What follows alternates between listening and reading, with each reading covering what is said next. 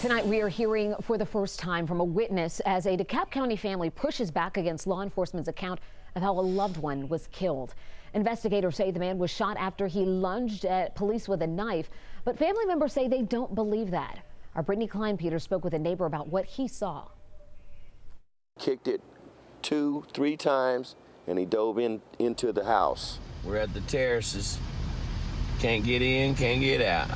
Jason Neal says that he was coming home Monday afternoon when he came up on several police cars and emergency vehicles in his neighborhood. I noticed somebody running, jumping off of the balcony. He jumped on top of that and kicked out that little window.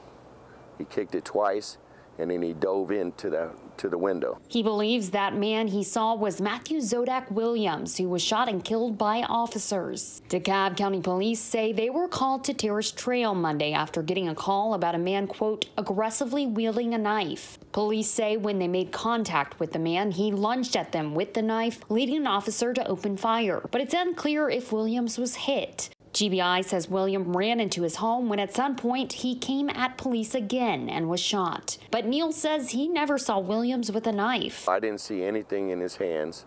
And then it was like five minutes after he had gotten into his house, uh, I heard one shot.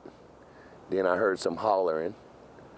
And then after that, it was another five minutes went by, and I heard three to four more shots. Williams' family says they don't believe law enforcement's account that he threatened the officers in any way, describing him as the most caring and selfless person they knew. It was not violent. My brother was not confrontational, and he was the most caring, giving, selfless person you could ever meet.